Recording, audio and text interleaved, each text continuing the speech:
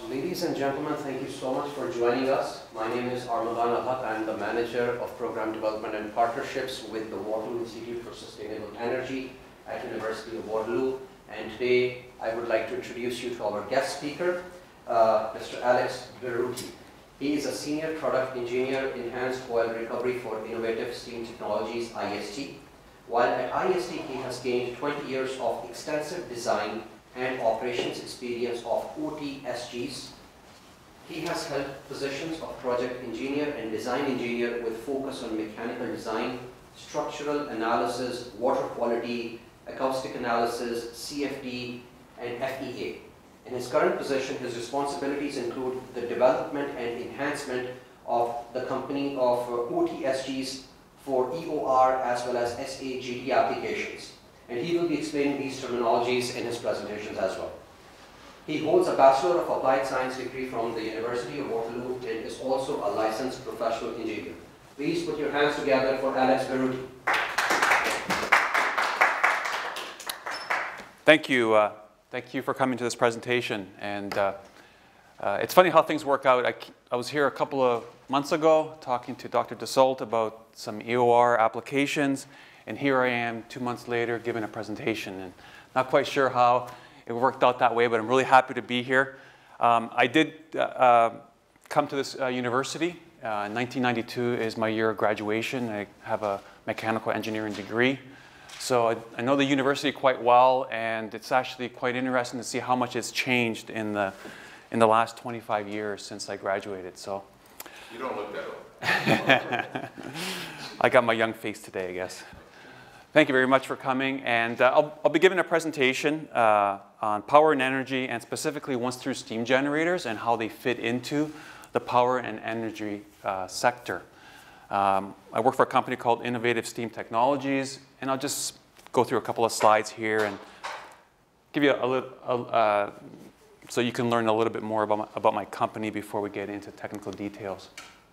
So uh, I'll go through our, our company, uh, where, where the OTSG technology started from. We'll look at the OTSG technology itself, some of the engineering challenges when it comes to uh, the power industry, uh, the engineering tools that we uh, use quite routinely in designing new uh, OTSG designs, some of the innovations that we brought to the enhanced oil recovery market, uh, OTSG, and also in recovering heat from low-grade heat sources like flue stacks, uh, low temperature flue stacks in the organic Rankine cycle, and some of the challenges that we see within the industry uh, uh, going forward. So we are located in Cambridge. Um, we have, uh, we've been there since 1992. Uh, to date, we have 200 plus OTSGs, once through steam generators, uh, all over the world, and we'll, we'll, look at a map of that in, in, a, in a moment. 100 personnel in uh, design, engineering, manufacturing, and uh, field services. Uh, our main headquarters are here in Canada. Our sales are here in Canada. Uh, we do have an office in Dubai and in Korea. Those are just more satellite sales offices. But we're close by. We're just over here in, in Cambridge. We are a manufacturer of once-through steam generators uh, for four primary markets, uh, large power plants, so here we're recovering the waste heat from high-grade heat source, like from a gas turbine. Uh, normally this would be in a combined cycle application where we're taking that steam to generate uh, additional electricity. Uh, many, uh, they're, they're, also located in many uh, manufacturing facilities where the waste heat is used to generate steam for some sort of a process, like a mining process or a, a paper mill, those kinds of things.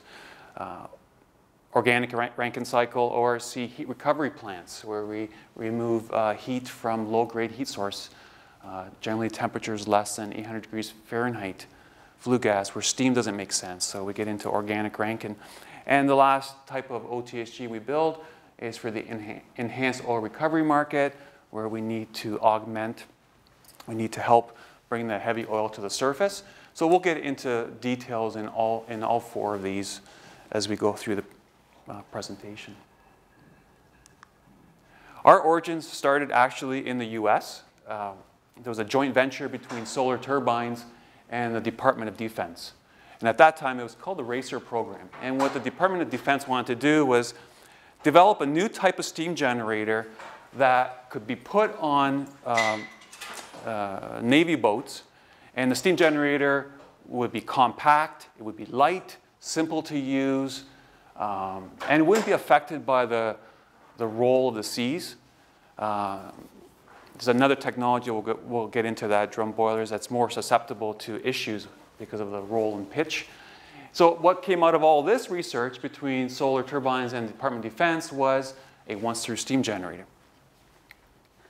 And that technology eventually made it to IST. It was purchased from Solar Turbines in 1991.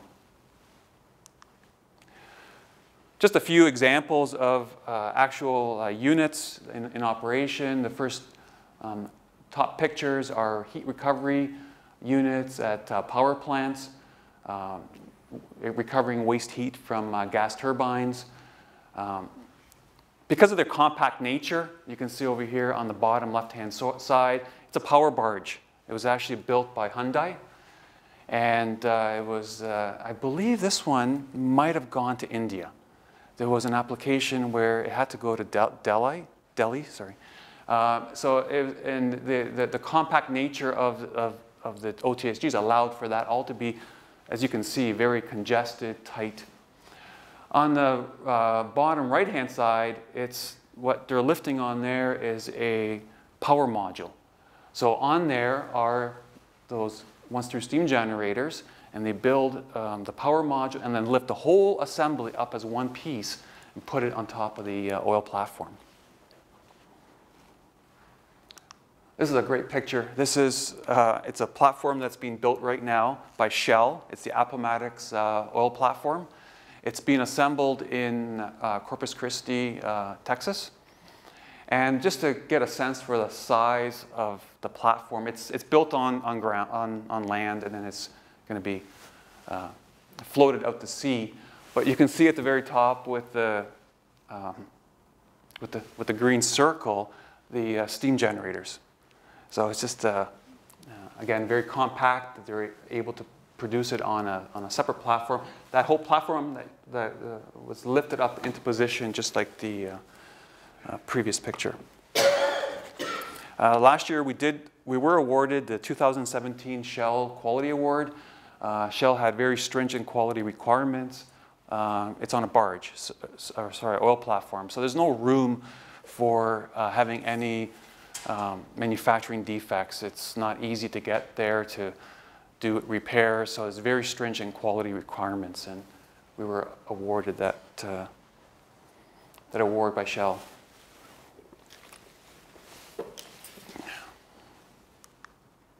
Well, we do have units all over the world. Uh, just quickly glancing at it, North America, project, uh, products in, in uh, uh Bolivia, uh, Colombia. We have products in uh, South Africa, Ghana, Turkey, Israel, um, a whole bunch in Europe, um, England. So we are a world company, Australia, New Zealand.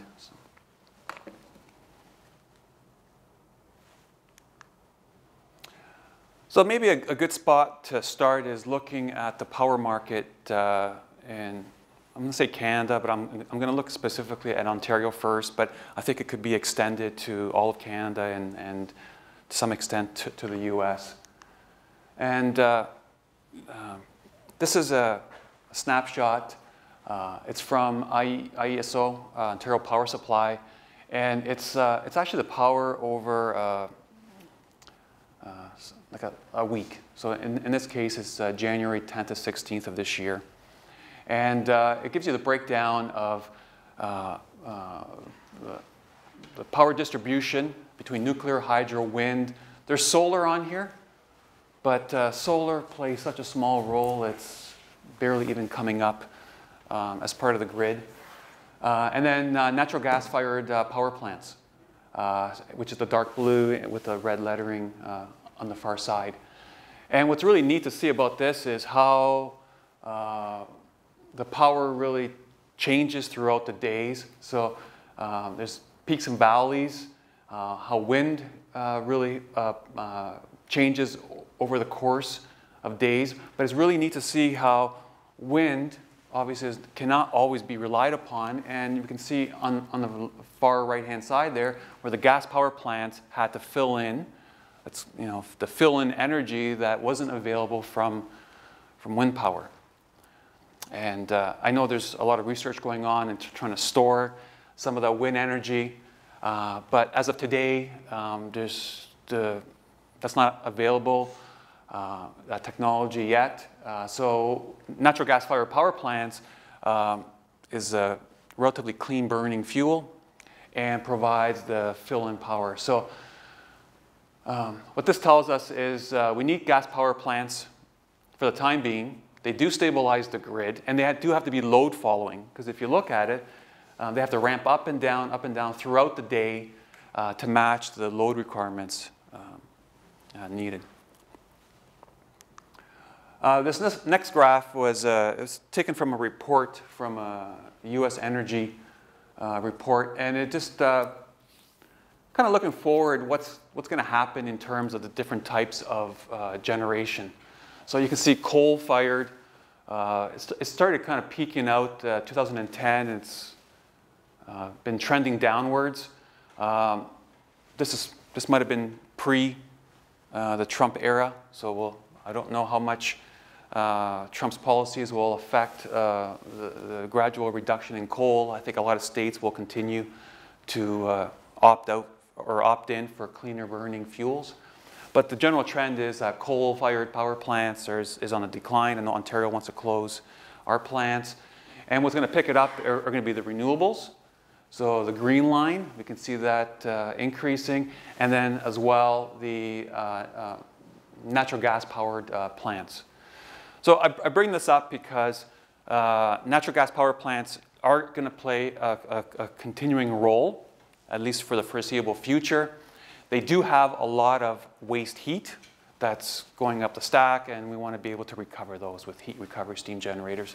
And that's where OTSGs uh, come in and, uh, and fill that need. So uh, once through steam generator, we can uh, just look at the technology and just get a, a feel for uh, uh, um, what's, uh, what the equipment looks like. So here's a, a picture of a once-through steam generator that we produce. Um, you can see it on the uh, right-hand side. Uh, the gas flow is horizontally along the bottom, and then it's turned 90 degrees vertically upwards. The dark colored region, that's the heat transfer modules. So that's where we uh, take the waste heat, convert it to steam. So a heat recovery steam generator, it's also known as a waste heat boiler. Uh, it cools the hot gases, uh, most commonly from a gas turbine. Um, uh, generally from a gas, I say a gas turbine because that's, there's a sufficient energy in there to make, uh, to make steam. Um, so in this process, what we're able to do is regain that waste heat, that waste energy that eventually would have went up the stack and do something useful for it either a process or generate uh, additional power. And there's, uh, so there, there, really is two types of generators. Uh, there's a drum type boiler, uh, and then a once through steam generator. So we'll just do a comparison between the two. Okay, so we'll look at the drum type boiler first, and that's on, shown over here on the uh, right hand side. So uh, once through steam generator, sorry, uh, drum boiler is made up of three uh, heating surfaces, economizer, there's an evaporator, there's a superheater, and the flue gas, in this here it's, it's uh, flows horizontally. The tubes are generally vertical. Uh, there are some arrangements where the tubes are horizontal. Tubes are vertical and the flue gas flows across them. The water enters in at the economizer and the econ economizer just preheats that water to uh, hopefully something close to saturation. And then heads over into uh, the region in here, the evaporator. This is a steam drum at the top of the evaporator section. It's a large vessel, could be from three feet diameter to five, six feet diameter, depending on the size of the heat exchanger. Um, so uh, the the steam drum maintains a water level and the water kind of fills down into the vertical tubes. And as the heat goes across, evaporates the, tu- evaporates the water, makes steam. The steam comes out the top, uh, right over here, and then goes into the superheater section where it's taken up to superheat. So very three, three distinct heating surfaces.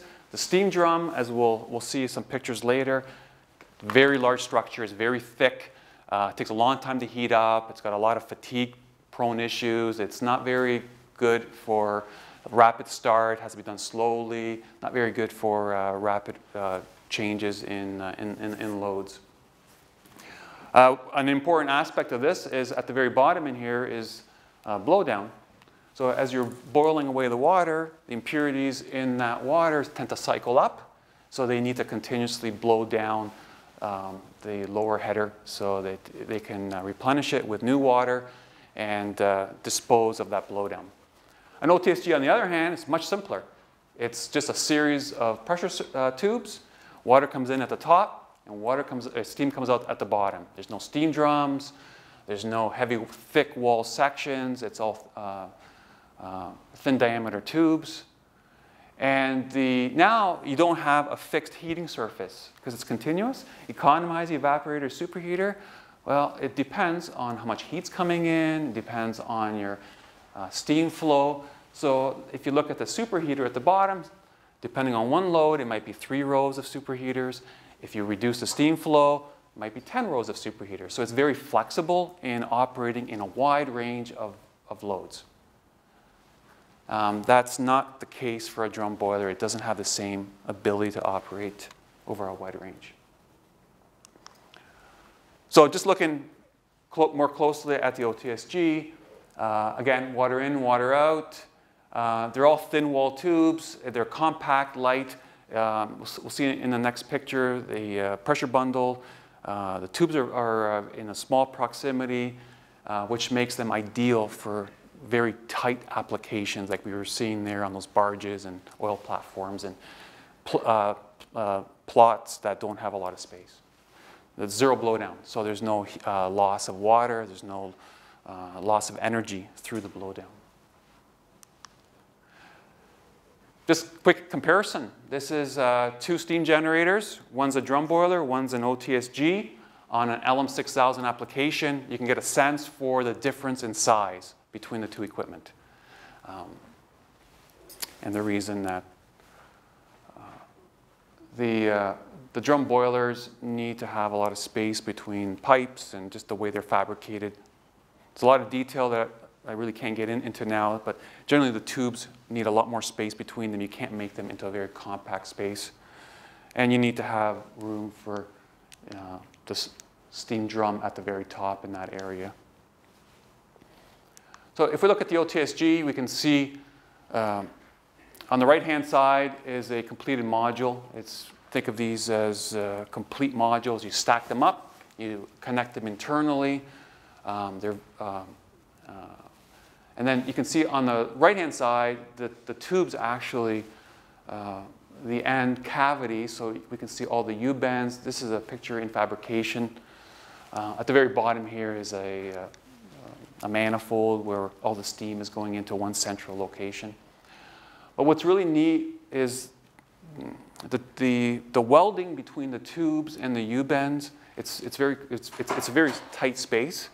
So there's specialized welding processes where it's an autogenous weld. So um, the two pieces come together and it's a, a TIG type welding process and the um, the, the joints made by actually um, melting the two pieces together in an inert atmosphere without adding filler metal. So that means your tubes are, are smooth. Uh, there's no you know, buildup of any filler metal that you would normally get. Um, and you get a nice, good, solid uh, uh, connection. Very important on something that's this compact, you need to um, have, have the appropriate manufacturing uh, uh, processes to be able to build that. So that's uh, gives you a sense of, of what these modules look like. So some, some of the challenges that we meet, uh, de depending on market demands, is the OTSG has to be capable of load following. So we've seen that earlier, where the load is changing throughout the day. um, probably uh, summertime. I, I would like to see that graph in the summertime when everybody's air conditioning is, is clicking in during the day and just a huge power spike. Uh, so they have to be uh, able of, of load following, so we have to have flexible steam flow rates. They got to be able to start uh, from cold, uh, fast. Um, a lot of times the gas turbine will be down. Gas turbine's going to come on. They need power. They have a power agreement with the province. Gas turbine's got to come on, and the OTSG can't be holding back the startup of that gas turbine.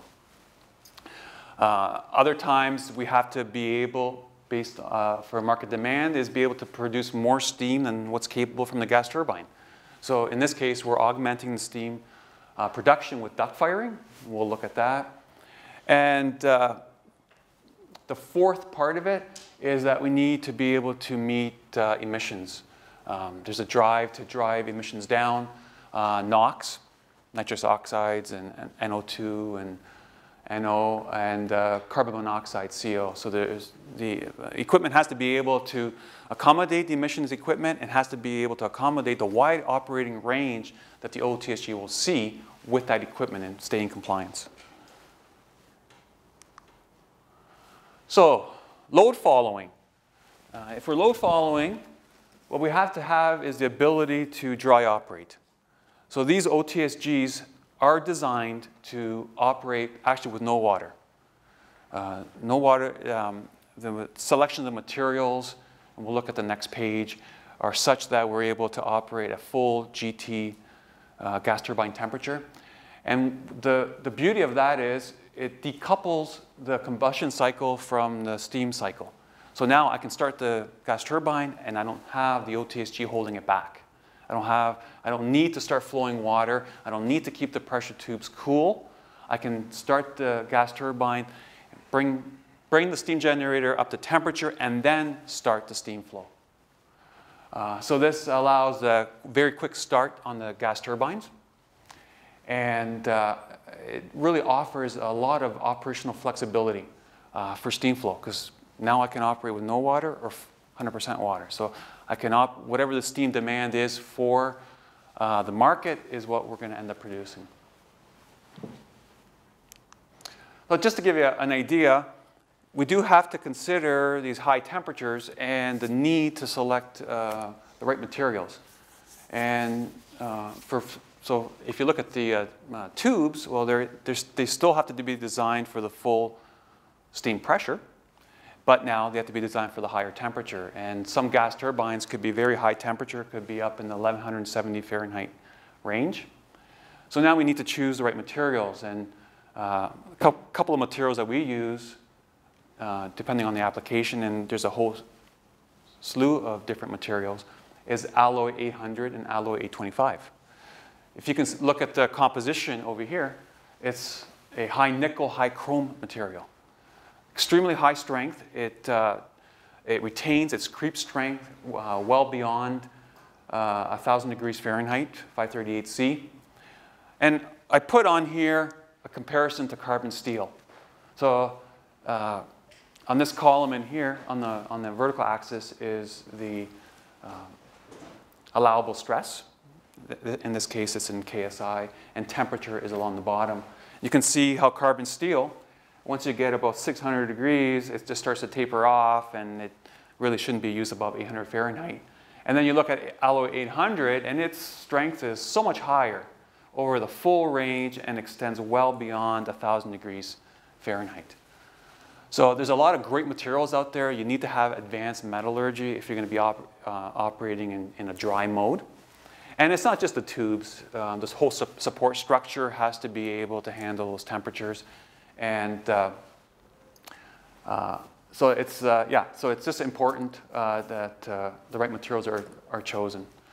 Um, because it's a high chrome, high nickel material, you're also we're able to operate with low feed water temperatures down in the 60 degrees F range. We don't mind having a bit, a bit of condensation on the inlet rows because the material is chosen are designed for operating wet. Like they're, um, they're corrosion resistant with the high chrome nickel content. So this has a big impact on increasing the efficiency of the overall steam generator. Uh, so a fast start, we need to, if, if the pressure parts have a lot of thick walled sections, you can see a steam drum over there on the right hand side, big structures. Um, depending on the pressures, they could be three inches thick, uh, even more. And uh, so uh, that's, that's one of the issues with uh, starting up a drum boiler is you have these big thick sections that need to um, be started up slowly. Um, they need to be maintained in a warm state. Even if the boiler is not needed, you need to have sparging steam in there. You need to maintain temperature. So that's, those are all uh, losses to the plant. Um, a drum boiler uh, has those um, drawbacks. An, an, OTSG, well, it can be started much quicker. Um, there's thin wall tubes. And so it's able to, as I mentioned earlier, start with no water in it. Right? There's, there's nothing holding it back. Um, and then the water flow rate is, uh, is ramped up afterwards. So steam augmentation, that's uh, sometimes necessary. Um, we can see the, the burner. It's usually a burner that's in the flue gas. And what we're doing is we're putting in extra heat um, to uh, raise the temperature. And generally, uh, the flue gas uh, temperature is raised to something 1200 to 1500 degrees Fahrenheit. Uh, so it's quite hot, but it's able to provide that additional energy to get us uh, the steam flow that's needed by the process. And quite often, this, this burner is operated in, in, with a control mode where it's, it, it will vary up or down depending on the steam demand by the plant. Or they'll look at the steam, steam header pressure, and, this, and as the pressure goes up or down, they'll either put more heat or less heat and make, uh, make more steam or take away steam. So why would we duct fire? Well, steam demand increases, uh, but there's no change in, in uh, GT load. The GT electrical output's fixed. They can't really, for whatever reason, can't ramp up. Well, they can augment it with additional um, firing to get the additional steam. Or the gas turbine just doesn't have enough energy. Even when it's fully maxed out, it just can't, can't provide enough energy to get the steam flow we need. And in special cases, uh, we need to be able to produce steam even when the gas turbine is down. So in that case, it's what we call a fresh air firing. So you have a fan that's, that's teed into or uh, into the uh, duct for the gas turbine. Gas turbine goes down, the fan comes online, and you burn uh, your fuel and continue to make steam. So you can see over here on the left-hand side, uh, an inside view. We can see the runners. Uh, those are, uh, each one of these in here is where the fuel is injected. And just upstream is this di distribution grid. And we'll, we'll look at why we need to have these di distribution grids and what, what we're actually getting from the gas turbine. An outside view there of the uh, burner burner runner supplying the fuel. So upstream of that burner, the burner vendor has a lot of uh, strict requirements on how uniform the flow has to be. We want uniform temperature coming out because on our pressure parts, we can't have hot zones and cold zones because they have the pressure tubes, I didn't mention it earlier, it's basically a whole bunch of circuits stacked next to each other. You don't want some circuits picking up more heat than other circuits. You want uniformity. So you need, the, the, the, way to do that is to have a nice uniform velocity going into the burner.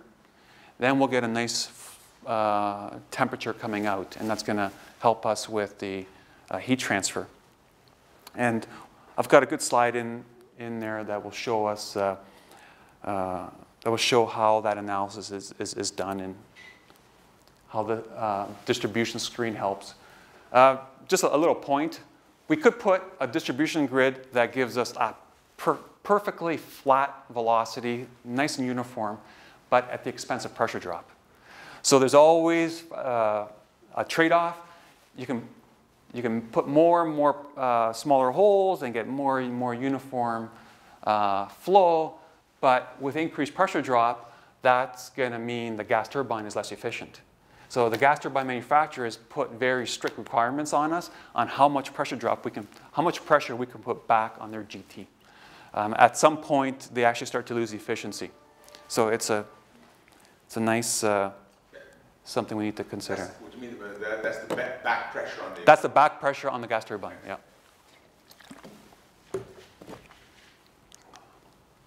Okay, so uh, we, we talked about the low following, we talked about quick starts and uh, steam aug- augmentation. The fourth one is emissions. Um, so there's a couple of different technologies that are used to control emissions. What we're looking at here is uh, reducing emissions of NOx. Uh, it's part of the combustion process. It's uh, there's nitrogen in the combustion air, and uh, the nitrogen combines uh, with the oxygen, forms uh, NOx, which is stands for either, NO or NO2. Um, can cause smog. It can cause um, acidic rainfall. So there, there's a real drive to drive down the, the NOx. It's a, a reg- regulatory requirement that's imposed on uh, many power plants. And uh, so uh, what this involves is injecting ammonia into the gas stream. The ammonia combines with the uh, NOx on top of a catalyst, and the output is uh, nitrogen and water. So two harmless substances. There are a couple of other uh, undesired re- reactions. Some of the SO2 will combine with oxygen to form SO3. SO3 is a precursor to uh, sulfuric acid. So um, it's very, uh, that's something that's balanced, trying to find the right catalyst that minimizes the amount of SO3 formed. And then the other thing that's, that can happen is some of the SO3 can, can combine with ammonia to form ammonium bisulfate. It's a sticky substance. It sticks to the outlet of the heating surface. Um, you you redu- reduce efficiency. It's not easy to get off. It's acidic. So it's something that we try to avoid. It looks like great fertilizer. Yeah. but not good in the boiler. Uh, if we look at uh, the OTSG, we can see um, the equipment, um, how it would be laid out. So uh, you can see in green in here, this is a layer of CO catalyst. CO catalyst is a platinum. It's a, it's a sheets of platinum inside these modules. And the platinum converts the CO to CO2. The AIG is after that. That's the ammonia injection grid. That's where we inject the ammonia. And then the very top color here would be the SCR module. Uh, and we'll see some pictures of what that looks like. Um, point here is it does take up a lot of uh, space. It's, uh, it's not a minor piece of equipment. Uh, as you can see, uh, a big chunk of that vertical section is uh, emissions equipment. So just looking um, in this picture, we can see uh, the catalyst blocks on the uh, left-hand side. It's a, it's a num- number of blocks, and they're put inside the reactor, uh, stacked next to each other, and the flue gas flow just kind of goes through them. You can see in here this white part in here, that's the catalyst itself. So some close-up views. Um, the top right-hand corner is looking at it from the bottom. So you can see the support structure. Uh, that structure has to be able to handle these high dry running temperatures. Um, when there's catalyst, you don't really allow it to go up to 1170 because there's some negative effects to the catalyst. So you limit the dry running temperatures. Um, the catalyst tends to degrade uh, at elevated temperatures, so it's, it's a fine balance between um, dry operation and number of hours allowed at dry operation. If you look at the, uh, uh, this picture in here, it's a, it's a close-up. The catalyst is a titanium oxide. It's a, it's, a, it's a paste, and it's impregnated onto a stainless steel wire mesh, and then it's formed into these corrugated sheets. And all these corrugated sheets are put next to each other, and the flue, oops, and the flue gas ends up flowing in between all these little holes, and that's where the reaction happens. This is a, a picture of the ammonia injection grid. It's a series of pipes. They're not overly complex. Series of pipes with a bunch of holes in them. The holes is where the ammonia is uh, um, ejected. What we see here as well in this picture is this upstream CO catalyst. Uh, it's, a, it's, a, it's, it's just a layer of catalyst. It's about, uh, I don't know, three inches thick. And it's blocks put onto a frame, and all the flue gas flows uh, up through, through that catalyst, and uh, CO is converted to CO2. The, the benefit of having the, the catalyst upstream of the AIG is it helps to even out the flow. Um, really important to have uniform flow. Interestingly, if this catalyst was put after the AIG, the catalyst would react, uh, would convert the ammonia into NOx. so you would actually be creating NOx. So it's, it's really important that it's put far enough upstream that it doesn't cause that issue. So some of the tools that we use, um, and this is kind of getting into the technicals, is uh, finite element analysis. We're, we're working with a hot boiler.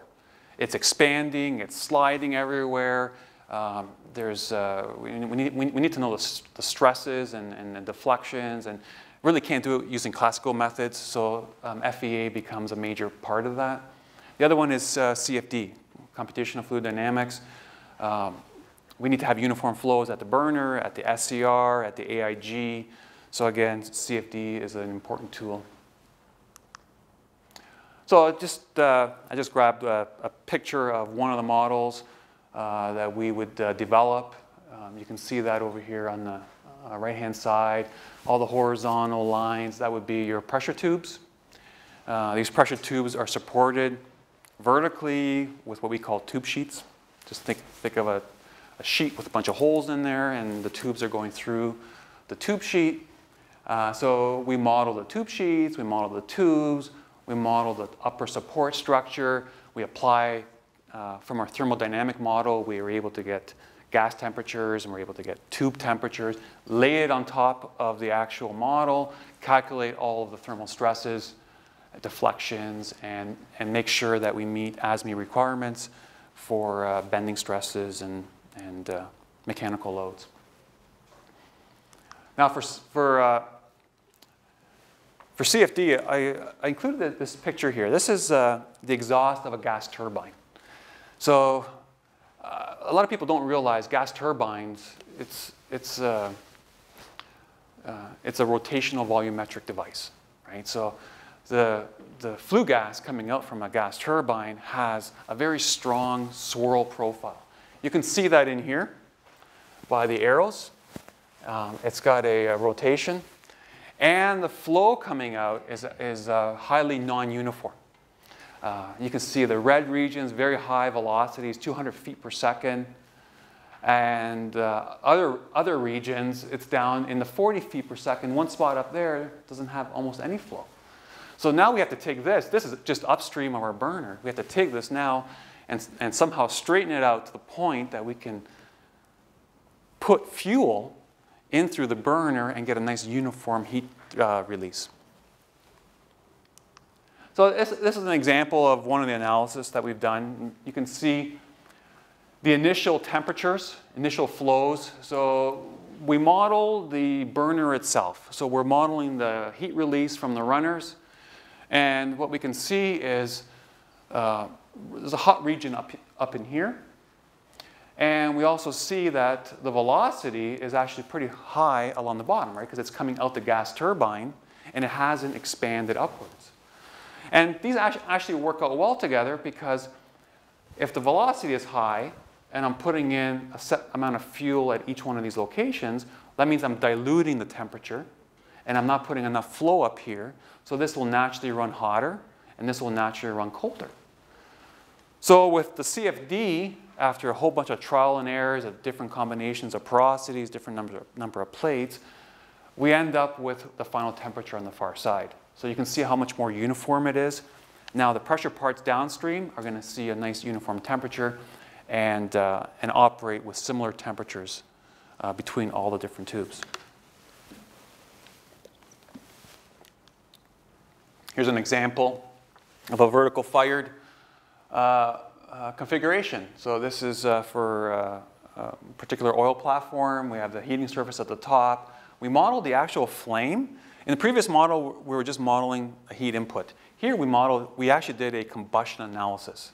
So we're actually mixing the fuel with the, with the uh, uh, flue gas so that we're able to get a nice accurate uh, determination of the radiant heat fluxes from the flame to the downstream equipment and have an accurate determination on what will be the gas temperature entering the heat transfer surface.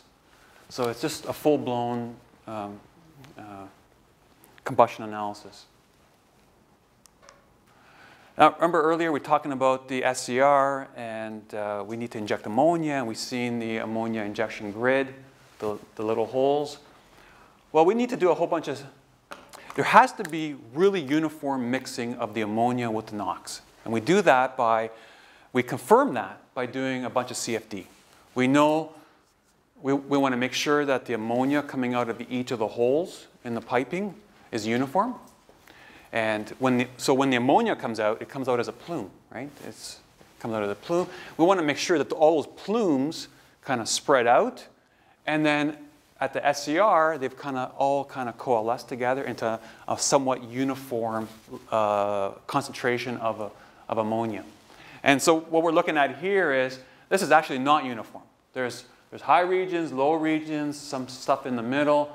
This was actually one of our initial runs we had to change the configuration of the AIG piping. We had to put in uh, devices in there to promote mixing of the ammonia with the flue gas.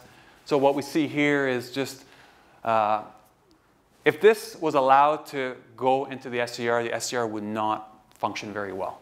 It needs to have a uniform, all the, all the catalyst has to operate at its peak efficiency. So you need to have, um, you, you, can't have some areas with too much NOx sorry, too much ammonia, because that ammonia will slip through and you'll get ammonia slip. If you have uh, not enough, then you don't have enough reaction and NOx will, will slip through.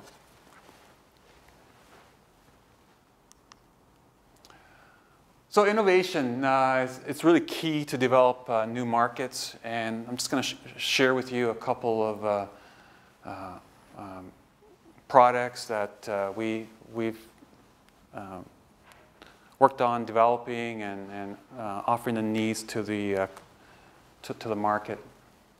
Uh, one of them is uh, Enhanced Oil Recovery, OTSG. Um, so uh, I'd like, to, start off, just quickly show where, where, where Canada stands you know, in, in terms of enha enhanced oil recovery. The current climate in Canada uh, does see a continual growth in the in situ market. So there's two ways of it, part of en Canada's energy security is we do have to develop our own oil. We, you know, and uh, uh, and in doing so, the uh, Alberta oil sands plays a significant role in, in, in that part of it. Uh, so what we look at here, what we can see here is there's two primary ways oil sands are extracted. One is mining, which is the purple one, and then in situ process would be um, like uh, SAGD uh, and CSS. SAGD is a, uh, the next slide will, sh will show what a SAGD process looks like. But essentially, 80% um, of the oil sands is only accessible by uh, in situ methods. And these methods, the most proven way to remove that oil at this point is uh, steam injection. Um, the steam uh, lowers the viscosity, helps uh, pressurizes the ground, helps to flow that, that oil to the surface. And SAGD uh, is playing a, uh, a primary role. OTSGs, once through steam generators, is a predominant uh, equipment that supplies steam for this process.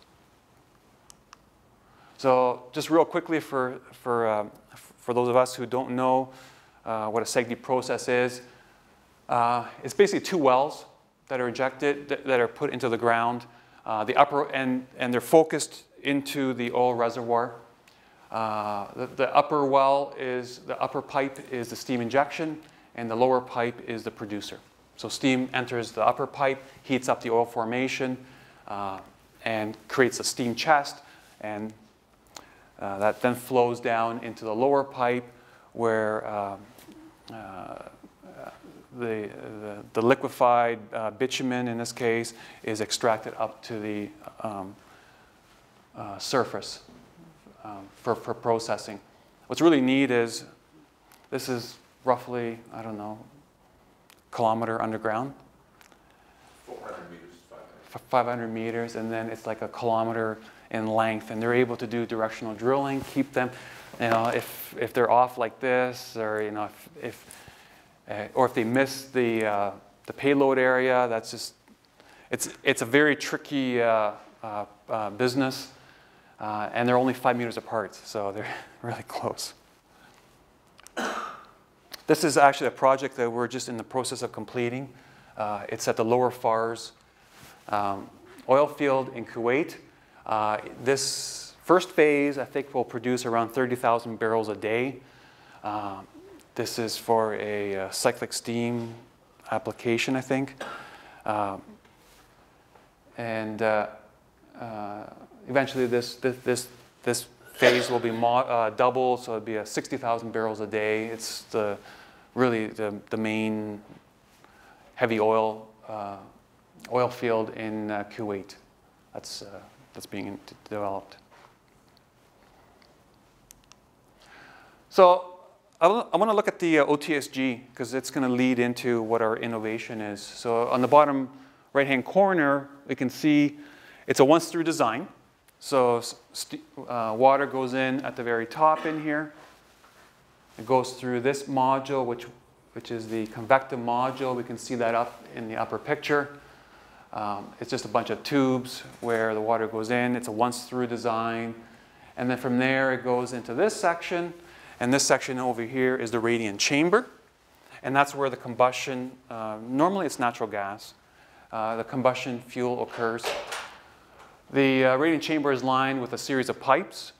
And uh, so this, the water flows, steam flows through those pipes and exits as a wet steam mixture, usually 75 to 80% uh, steam quality.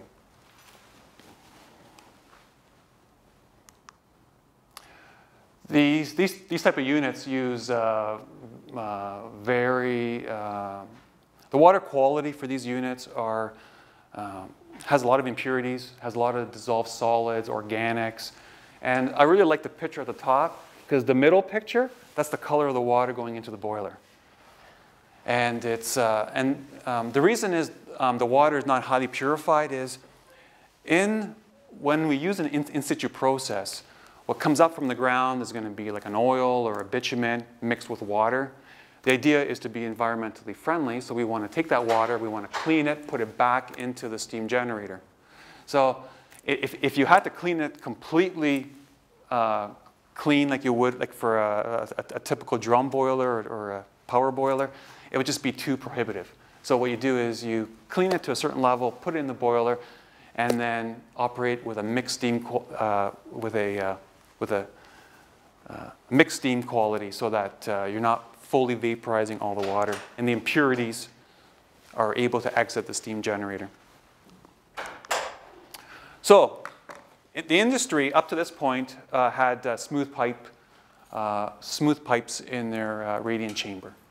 So if we were to look at a flow regime inside this pipe, generally it operates with annular flow. The velocities are high enough that we don't get separation.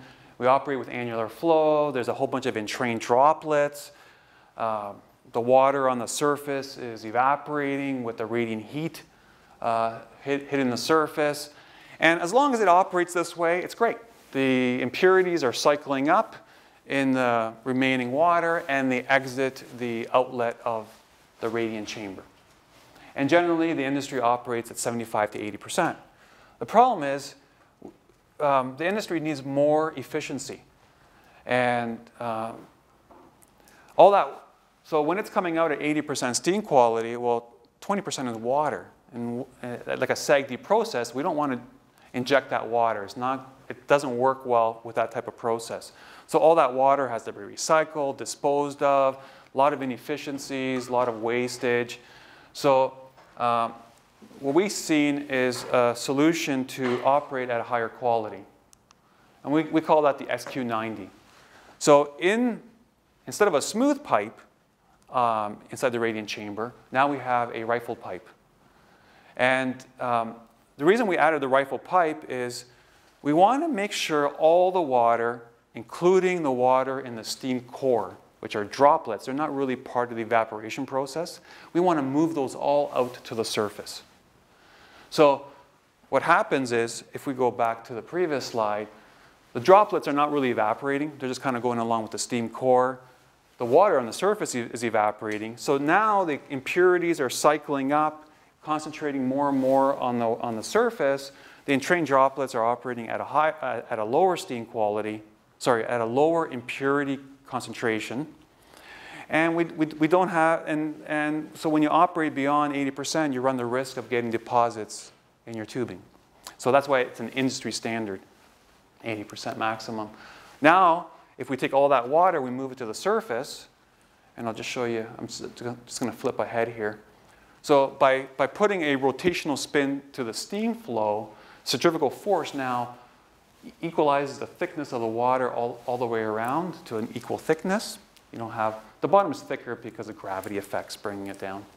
And all those droplets on the steam core are now on the pipe surface. So everything is now in, e- evaporating on the pipe surface, and we don't have some water in the core, some water on the surface. So with that, we're, we were able to do an industry first 90% steam quality operation. That's with the water that we've seen in here. So we don't need any special water. It's the same water, just operating at higher steam quality.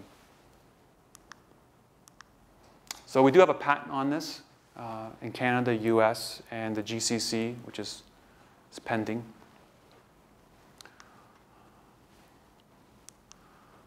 Okay, our uh, other area that we've been focusing on is the um, organic Rankine cycle, OTSG. So there's a lot of small gas turbines, reciprocating engines. There's a lot of uh, waste heat going up the stacks. Uh, interestingly, the U.S. Department of Energy estimates 1.5 to 2 quadrillion BTUs per hour, uh, with gas temperatures less than 500 going up the stacks. There's a lot of energy uh, that if we could, if, that if we're able to tap into that market, uh, could could have a significant impact on lowering um, carbon, our, the Canadian carbon footprint, right? Uh, if we are able to extract that heat and uh, make uh, power from it or use that heat in a, in a, in a manufacturing process, it uh, avoids use of burning additional fossil fuels. But the issue with a lot of these heat sources is the temperature just isn't there for a steam cycle. There's just not enough heat to pr produce a meaningful amount of steam flow. Generally, you need superheated steam to be an efficient process.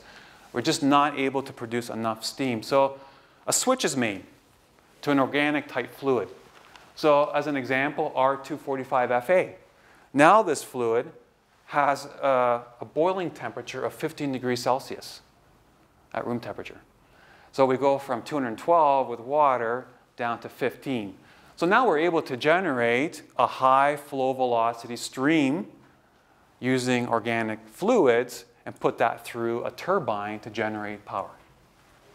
And that's where the uh, uh, opportunity arises. So generally, less than 800 degrees F is what we would, what the industry regards as applicable for an organic Rankine cycle type application.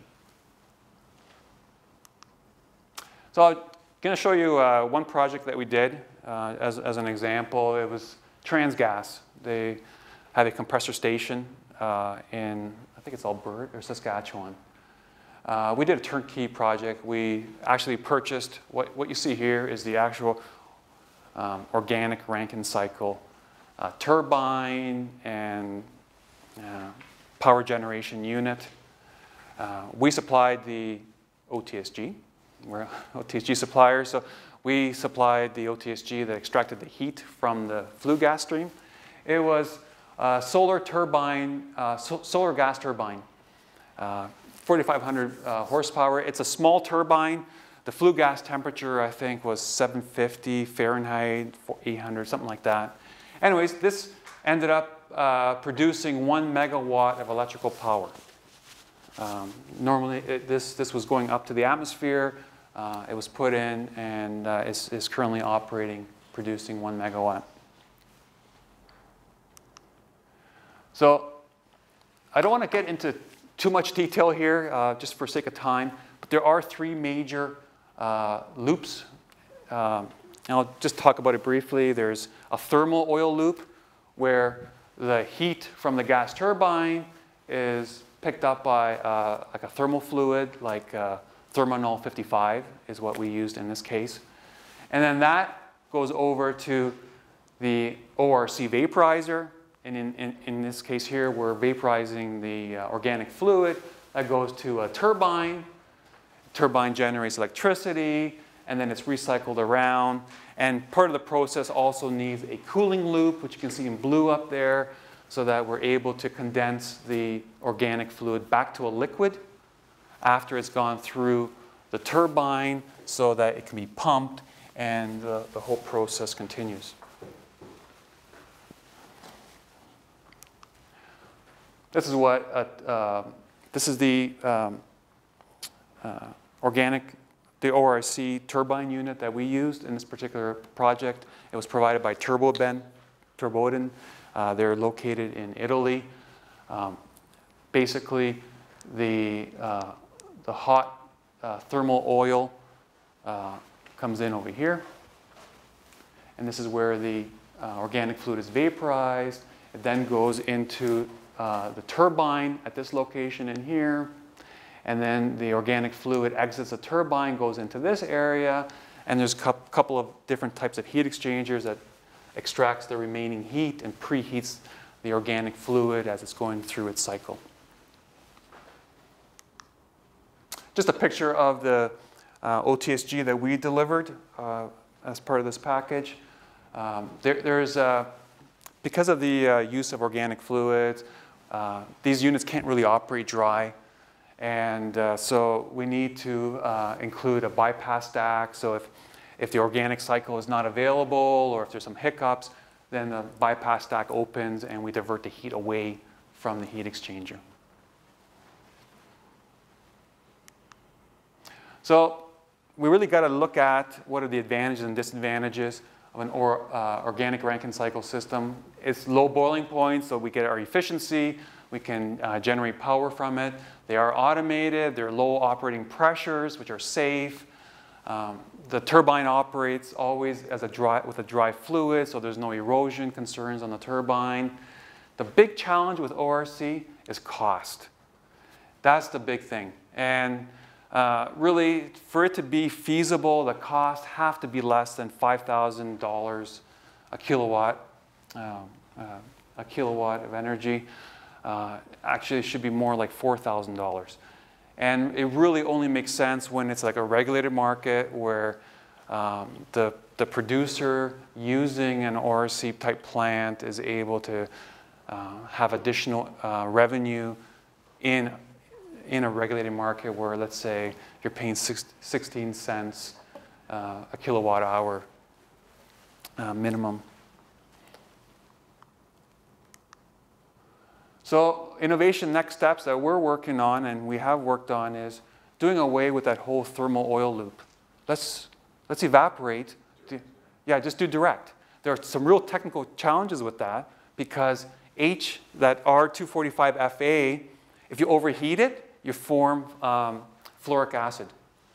So you, you could have some catastrophic damage to your equipment if you start forming fluoric acid and cycling it through all your tubing. You can, so you can really do a lot of damage. And so there's some technical uh, hurdles around that and how the equipment's built so in such a way that you're still protecting the equipment, that you're not going to overheat your organic fluid. You need to uh, have uh, proper controls um, to ensure that that doesn't happen. Uh, so we want to eliminate the thermal oil transfer loop that reduces the cost. It's got to be more modular. Again, reduce cost. And then the turbo expander is actually an uh, expensive part of the equation. So as, as, you can see, it's all about reducing cost. And that's kind of one of the biggest hurdles for an ORC type uh, power plant. So future challenges that we see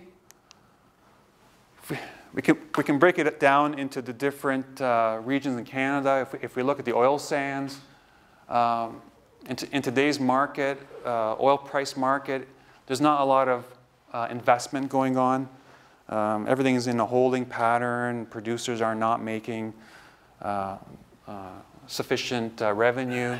It's, it's, improving a little bit now with the price having gone up in the last few months. So there's a drive really to reduce that uh, capex, capital expen- expenditure, and operating costs, OPEX. Uh, the other issue is Canada is pricing in uh, carbon taxes, right? So a lot of these producers in Alberta need to be paying. I, think the cost is something like twenty dollars right now. It's per per uh, ton, but that's going to slowly go up, and so that's a, an additional uh, expense. And when you're competing with other countries that are not going to be carbon pricing the same, so let's- let's look at the U.S. You know, we're competing against uh, shale oil. Well, shale oil uh, is a lower cost way of uh, uh, extracting oil from the ground. Uh, they don't have the uh, issues yet of carbon pricing. So it just makes the whole industry less profitable to the point that there's not a lot of investment happening right now. And um, so that, that, that's a bit of an issue. Uh, the drive, uh, the other issue is uh, driving to lower and lower NOx levels. Uh, our last project uh, we did in California, 2 ppm NOx and 5 ppm slip. Not all the ammonia gets reacted, some ends up going up the stack. The issue is when you get down to those levels, there's not a lot of room for any uh, imbalances in the ammonia to NOx ratio entering the catalyst. It's extremely sensitive. You can't have any leakages because you're dealing with such small numbers that any small amount of leakage, any uh, inefficient areas of uh, reaction in the catalyst can make it so that you don't meet those limits. And uh, lastly, for organic Rankine cycle is just driving down the cost so that we, we see that as our major hurdle at this point.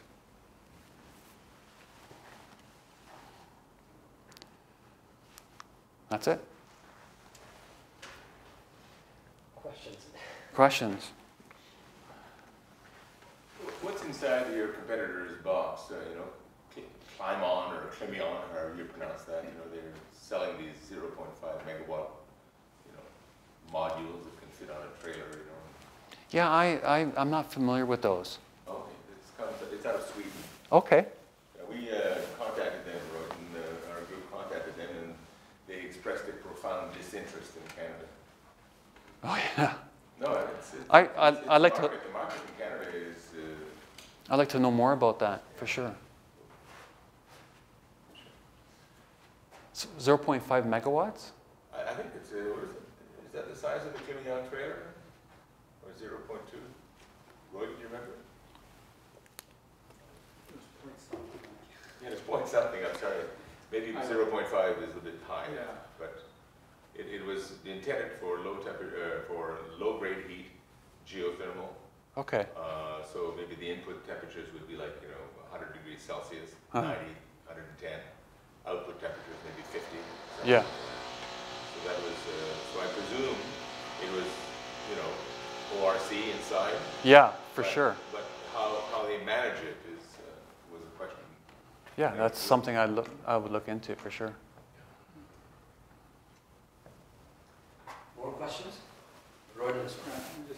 So have you looked at, like, the uh, organic Rankine cycle, uh, just focusing at really low temperatures, you don't have any of the issues at high temperatures, so low temperatures being two hundred C below?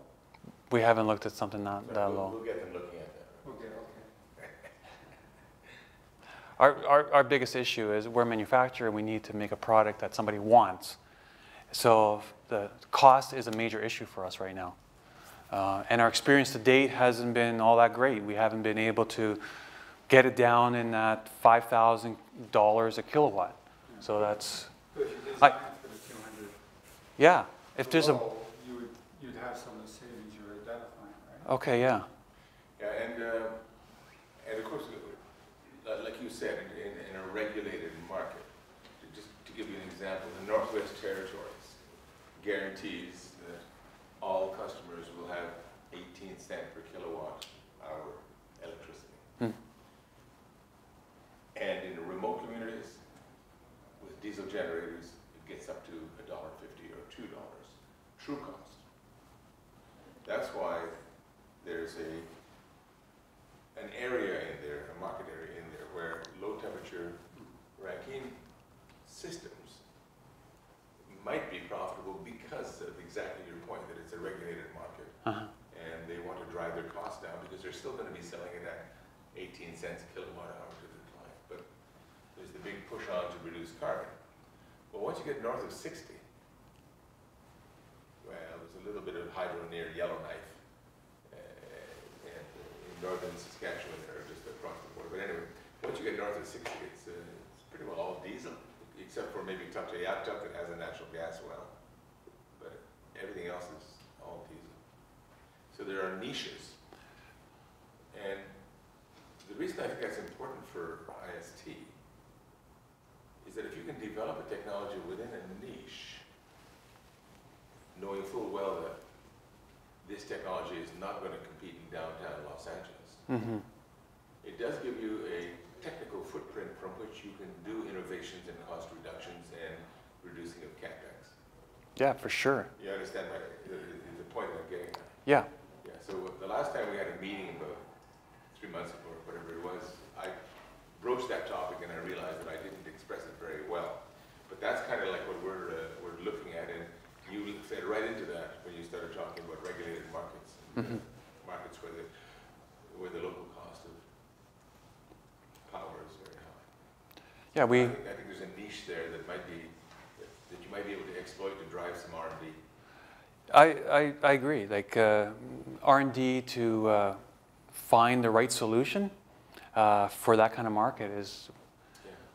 And it had to be a solution that uh, is, is uh, easy installation in, in the field, low cost, low maintenance, and uh, especially those remote c- communities, right? It has to be. Yeah. It's not, not a lot of sophisticated support, so.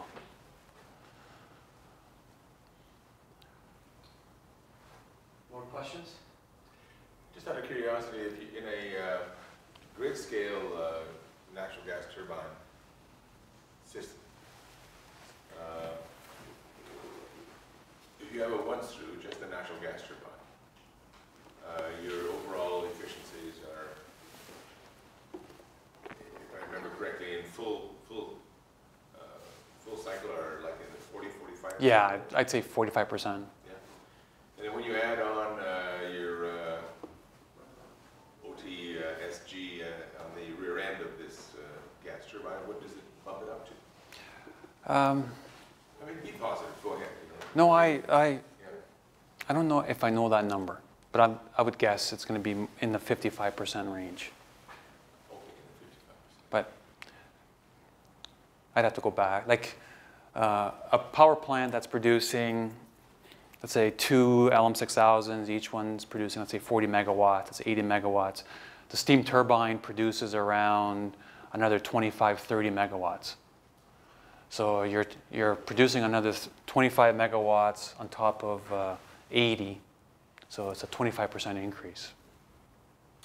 Now, what's the, in general, when you're dealing with uh, natural gas, the percentage of sulfur that comes through is? Generally, it's very clean. Generally, uh, it's pipeline gas, there's not too much. We've done uh, projects in uh, Hawaii, and in, in those areas, they actually burn an oil. So uh, I don't know if it's diesel or. Yeah, there's a little bit of sulfur in it. Uh, but generally, sulfur is not a huge issue. Well, have No. you put any of your systems on the rear ends of coal-fired No, burners? no. Or is that just too sulfurous? Well, you've got a, a lot of ash to deal with as, as well, too. Oh, yes, Um, that's true. uh, You could do a, you could do you- a uh, electrostatic precipitation, hot precipitation yeah. before you get into your system. You could, yeah. Uh, we, that's one market that we haven't, Because that market operates, uh, I mean, thirty percent efficiency is pretty good. yeah. You know, forty percent efficiency is, I think, unheard of in coal-fired power plants, right? I think it might have Some of the new ones might be